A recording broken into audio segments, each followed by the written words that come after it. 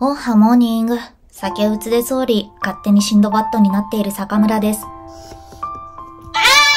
動けないほどの二日酔いではないけれど、緩やかな二日酔いによる体調不良。朝起きて動きたくないけど、体が悲鳴を上げて二度寝できない時、いつも一人反省会を開催してしまいます。あの時、変なこと言ってなかったかな？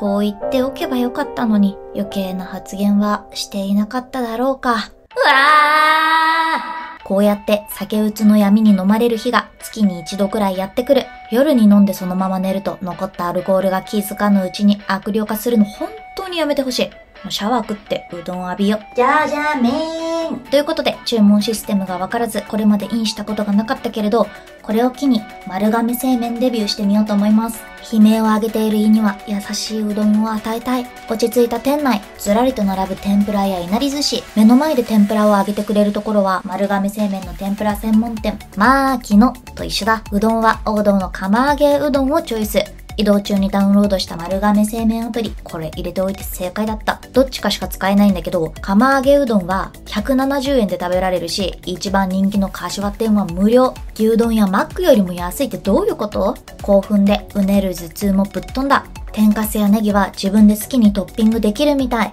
うどんのかけつゆはサーバーになっていて、これもセルフサービス。今日は黄金色の酒彼氏ビールではなく、天つゆを注いでいきます。夕焼けが溶け込んだようなきらめきのある汁、0円柏店に加え、野菜店、レンコン、コロッケもサラダ代わりに調達、どんぶらこうとタレの荒波にさらしていきます。うどんを持ち上げると、麺がとにかく長い。曲がりくねった。道の先が全く見えない。だしにたっぷり絡めたら、ずるぽずるぽ。優しい歯ごたえもっちもち、喉越しつるるんとしていて、出汁も絶妙な濃さで小麦の良さを引き立てている。お互いがお互いを支え合う理想の夫婦のような味だ。天使の羽を授けてくれるうどんは胃にラブピースをもたらしてくれる。こういうの、求めてた。うどんをチュルルンと光の速さですすっていく。さぬきうどんって、うまいな。このくびれと透明感があるもちもちこじはるボディな麺はすべてのお店で粉から作られているんだって。毎月1日は釜揚げうどん半額の日だから、こんなん通うしかない。月末に飲み会行って、二日酔いを丸亀で癒そう大作戦。あまりにもツルツル食べれてしまうので、うどんは飲み物。あながち、間違いではなさそうだ。なんならスタバライバル視したうどんフラペチーノみたいのも発売されてますよね。いつか丸亀製麺って、あ、カフェだったんだって思う日が来るのも時間の問題ですね。おっとっと、忘れちゃいけない天ぷらの存在。まずは、ソースをじゅんわり吸った柏店。焼き鳥屋からスタートした丸亀製麺の自信作、さぬき風フライドチキン。胸肉は柔らかくて衣はサクサク。カーネル・サンダースもびっくりするほどに。おしーじゅわっと溢れる旨味は私のかさついた唇を癒してくれる。これで恋する準備、整いました。いつもソースをかけるか、醤油をかけるか、塩をかけて食べるかも悩むんですけど、最近私の編み出した技は、ハーフハーフで、まあ、醤油半分、ソース半分で、二つの味を楽しむっていう食べ方してます。そのままサラダに突入。コロッケだってじゃがいもでできているんだから、サラダです、これは。パクサクジュワッと食べたら残りの半分は、だしにひたひたにして食べる。やっぱりコロッケって麺類と合うんですよね。最近は白いふかふかご飯よりも麺に合わせてコロッケを食べることが多いです。サラダ序曲を食べ終えて、そして伝説へ。杉山光一もびっくりするほどの大きい野菜店。野菜が塊魂しちゃってますね。天つゆにつけて、サクーっとおいしい。え、これ野菜なの？っていうくらい、健康とは真逆のジャンクの油漬けになった野菜店。お前も本当は気づいてるんだ。シラフじゃ語れぬ夢は惨めだ。と、 MOROHAが憑依して、シラフじゃなくなっちゃってますね。夢から覚めるために塩をちゃちゃっと振ったレンコン天をサクッと一口。オレンジ色に染まる日曜日の夕暮れ。部屋に一人ポツン。そんなシンプルな味がしました。ちょっと切ない。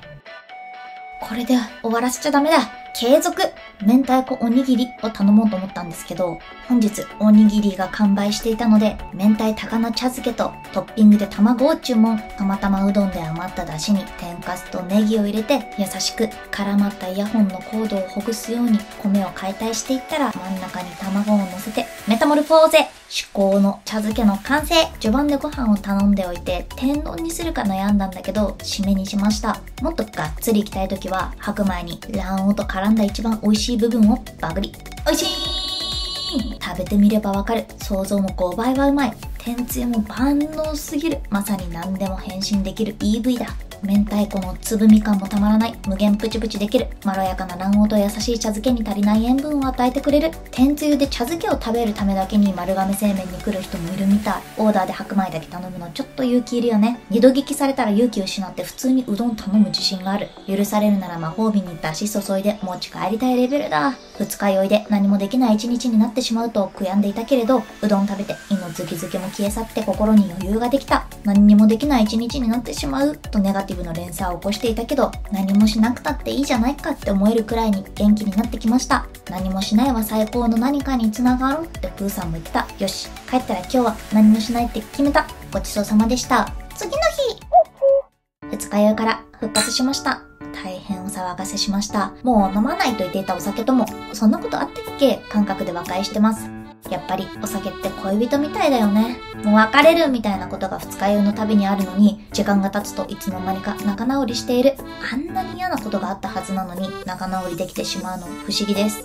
二日酔いの時ってさ、メイク落としてないんだよね、大抵。落としてないのに、なんかもう、ほぼ取れてるというか、あ、取ってないんだけど、カピカピになりすぎて、なんかもう、ほぼ残ってないみたいな、なんか不思議な現象起きて、絶対肌に良くないんだろうなと思いつつも、こういうの繰り返してしまうから、たまたまなんかツイッターで流れてきた美容の本買って読んでみたら、おー、すぐ本に影響されちゃうんですよ。睡眠の本とか、習慣の本とか、読んだら数日間だけはね、影響を受けるみたいな。雑誌とか読んだ後も、すぐ影響を受けるから、サボンとか買ったりするんですけど、使うの大体1回2回で、まあ、あとなんかこれ使っても大丈夫なのかなみたいな状況になってるんですよ。あとやっぱ家にいる時ってほぼすっぴんじゃないですか。でも酒彼氏とのデートしてる時にすっぴんでも可愛いって思ってもらえるように、ラッシュで店員さんに肌トゥルトゥルになるのどれですかって聞いて、買ってきたんですこのビューティースリープっていう、美しさをまとってぐっすりお休みできるゴージャス成分みたい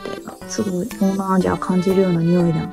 見た目が地面によく落ちてる誰かの楽しかった飲み会の思い出みたいな、そういう見た目してるんですね。これ塗ります。これちょっと使って、え、これ本当に合ってんのと思ったんで、今やろうとしてるんですよ。不安になるんこれ。合ってんのみたいな。見た目はあれだけど、匂いはいいんだよね。おしまいマジで合ってんのこれ。本日もご視聴ありがとうございました。丸亀製麺は出前でしか食べたことなかったんですけど、店舗で食べたうどんの方がもっちりとしていてより一層美味しかったです。